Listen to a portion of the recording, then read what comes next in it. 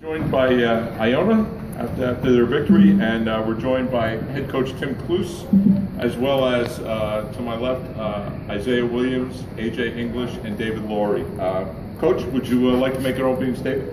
Yeah, I'm very proud of my team for winning their 12th road game of the year. Um, I thought they gave a great effort out there. Credit to Siena for playing as hard as they did as well. And we're fortunate enough to get the win and move on.